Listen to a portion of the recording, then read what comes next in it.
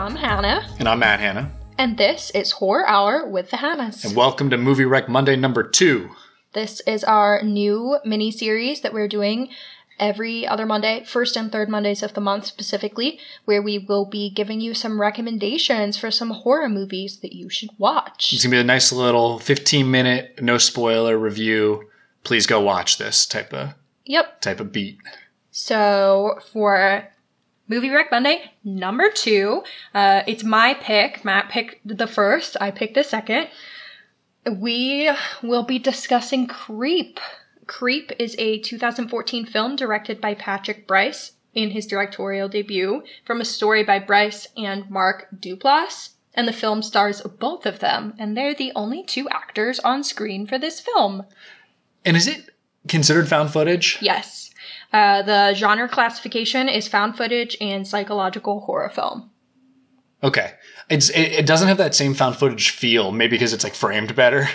It's not like shaky cam running around. It's more like I don't even know what I would call it. No, it is found footage. I just like I'm I Well, don't even think of it that way. I'm going to explain why. Okay. With the back of the box synopsis. A young videographer answers an online ad for a one day job in a remote town to record the last messages of a dying man. When he notices the man's odd behavior, he starts to question his intentions. That's right. Okay, so it's So, actually like, he is like a videographer recording this content. It's not like a random bitch in the woods kind of thing. Whoa, whoa, whoa. You better not be talking shit on uh what's it called? I can't can't even think of the name right now. Blair, Witch. I couldn't no, think of I'm. Ah, I'm no, just saying it's like stylized not because Cloverfield. it's a professional. Yes. Understood. Video okay. man's- I could not remember. I like this movie. It is so good. Um, but a lot of people haven't seen it because it was never in theaters and it was released in 2015 on video on demand and then globally was released on Netflix later that year. So it only ever got like a Netflix and video straight to video release. Gotcha. So not a lot of people got to hear of it. I like Mark Duplass. He was in like a show I was watching. What show was that? I couldn't remember where I know him from.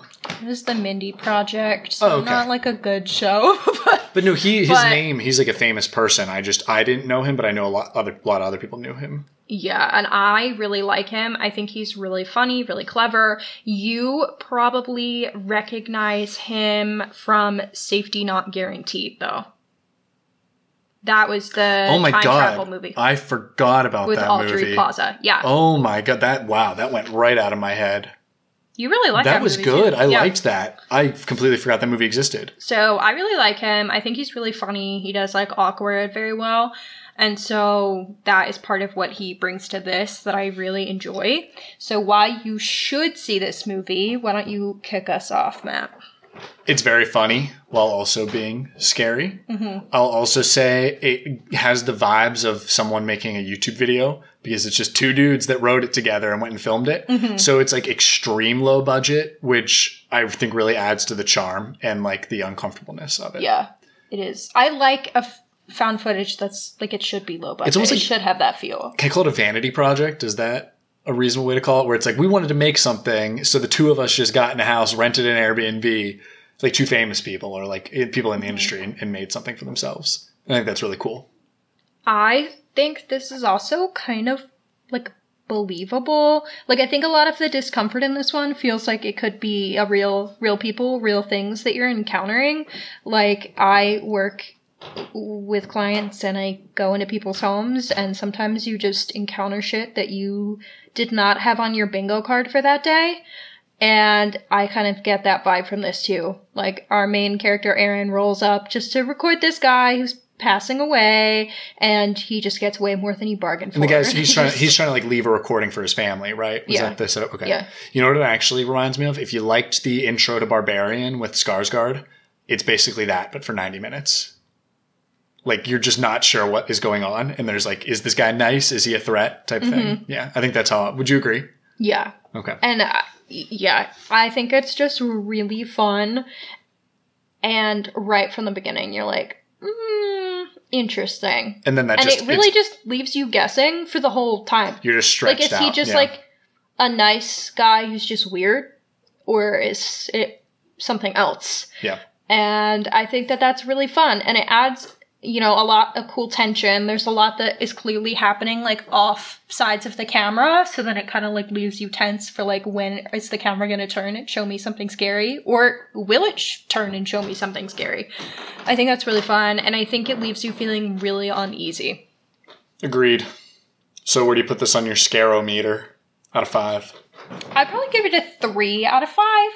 I do think it does racket up the tension and gives you that unsettling, uneasy feeling, which I've said many times is one of my favorite forms of horror, if not my favorite.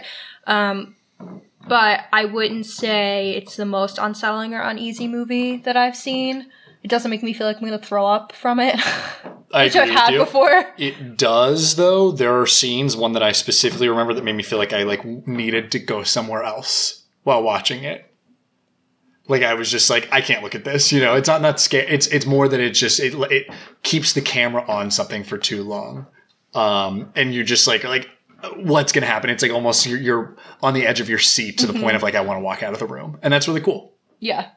Yeah. And the performances in this are just so fun. Like I like I said, I just really like Mark Duplass. So the fact that he wrote it and starred in it just makes it really enjoyable to me. Critically, it doesn't have like a lot of reviews, again, because it didn't have this wide release. Small potatoes. Yeah, so Rotten Tomatoes, it only has 31 reviews, but it has a 90%. We take that. The sequel has less reviews, but has 100%. The sequel is also really good. Yeah. And are they? I uh, they're both still on Netflix, right? Sorry to skip ahead. Creep is still on Netflix. Okay. So where you can watch it would be Netflix, and then it's on Amazon for two ninety nine. But like if you have Netflix, It's there. free baby. Perfect. So I would definitely recommend doing that. But yeah, ninety percent for thirty one reviews. Not a lot of reviews, but like we'll take the ninety. IMDb from you know our n- normal folk gave it a six point three out of ten. How do you feel about that? Uh, I don't know. I mean, I guess if you're just this, this is just like uh, people watching it, not critics. Yeah. Yeah, I mean, it's a little slow moving, and people have bad attention spans. It's found footage, which turns people off, and it's horror, which turns people off. Yeah. Like, so I don't know. Yeah, sure, six point three. I, I think it's better than that, especially for Yeah. what it is for two people on a shoestring budget.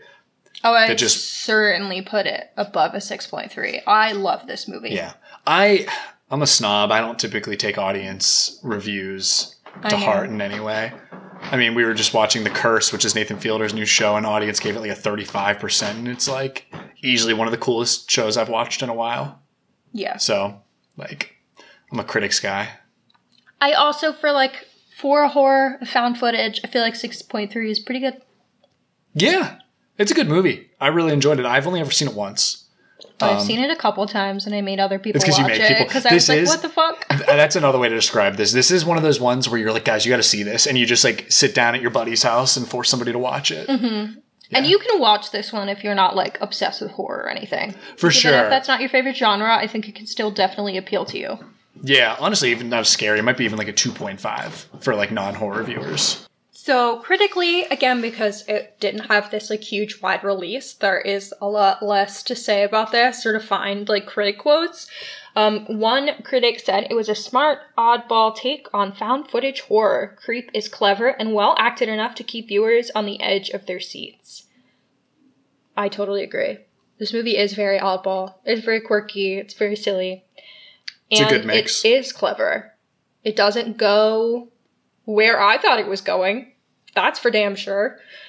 And it's, like I've mentioned, the acting is fun. It feels believable. They feel like real people who could have been thrown into this situation. So I totally agree. which is something that's really critical for successful found footage horror movie. And I feel like that's why I haven't necessarily loved like a ton of found footage I've seen because I don't always find it believable. But this one feels really grounded in this like weird reality. Agreed. That is kind of all I found. There aren't like a lot of critic reviews or anything for this because, again, no wide release, so that's gonna happen. But that just goes to show that, like, if we found this and we enjoyed it that much from like this small little shoestring budget movie, that you should definitely watch It's it. It's also short. It's 77 minutes. It is an incredible way to spend your 77 minutes. So absolutely no reason not to get on Netflix and uh, go watch this movie, in my opinion. yeah. So And then watch the sequel because you're going to want to. And the sequel, the vibes are actually very different. It's so funny how different they are, but they have the same spirit. Um, yeah. I, I can't really describe the sequel whatsoever without kind of spoiling this one. So I just can't, but maybe one day we will. That is all we got for Creep. Definitely go watch it. Like we said before, if you love it, message us, tell us that you love it. And if you didn't, I don't care. Shut up.